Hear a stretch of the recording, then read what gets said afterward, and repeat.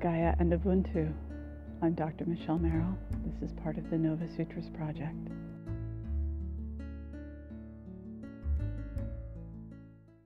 Today I'd like to talk about how to use drawing the Novasutras logo as a meditation.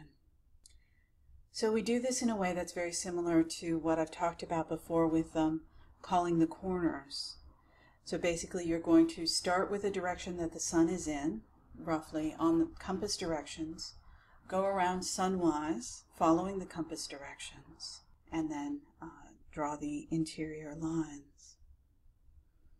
Now, the goal here is not to do a perfect drawing, but do something that's lovely and aesthetic and that represents how you feel about this. So I'm going to start with my top facing the east. Now, if you're on a horizontal surface, try to actually work with the compass directions, face toward the sun. I like to do this, my favorite is to do this with a stick in the sand.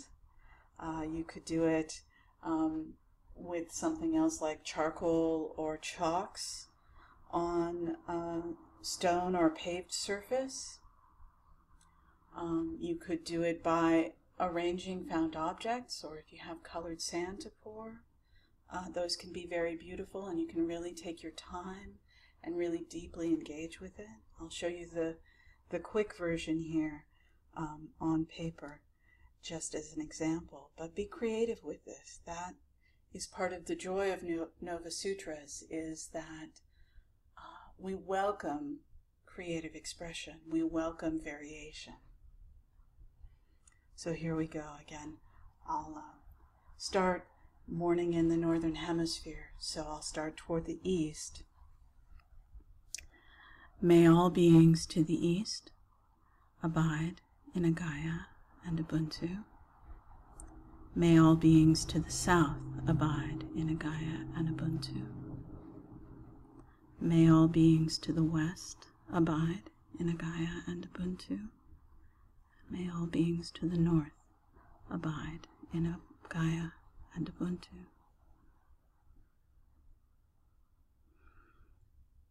And with this first uh, bar across the bisection or the the bottom of the tree canopy.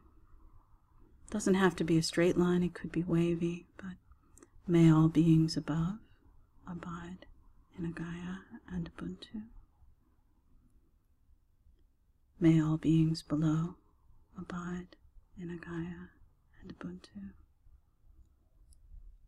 And then starting left or right, whichever you feel more affiliated with you, resonates with you more. So may I abide in Agaya and Ubuntu. And may all beings abide in a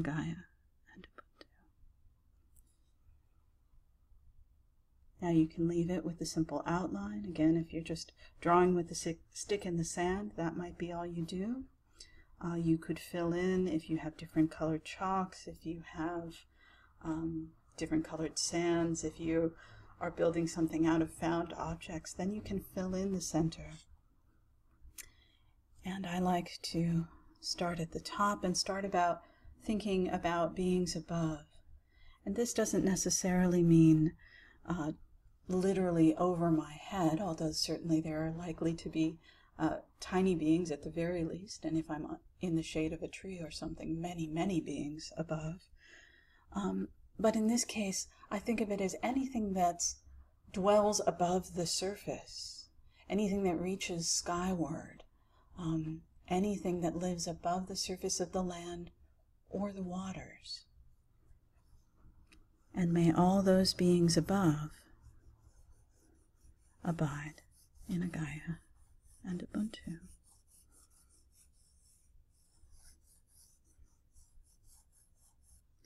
Now, if you're working on a, a, white surface, you may not need to fill in the bottom, um, but depending on what you're working on and working with, you might fill this in. And may all beings below the surface of things, all things below the surface of the soil and the waters, so many beings, more beings than above. May all of those beings abide in Agaya and Ubuntu.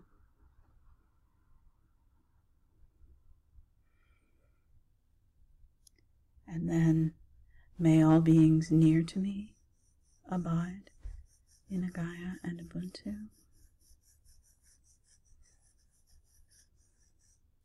May all beings far away abide in Agaya and Ubuntu.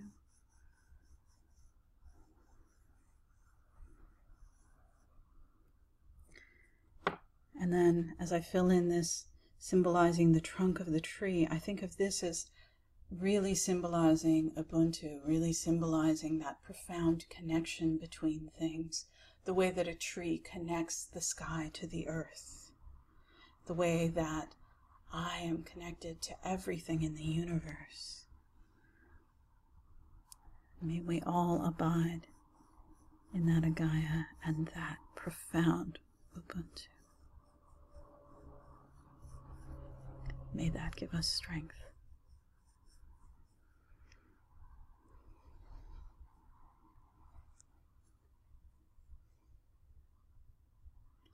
May you abide in Agaya and Ubuntu. And may you go forth and spread with Ubuntu and a Agaya for everyone you meet today.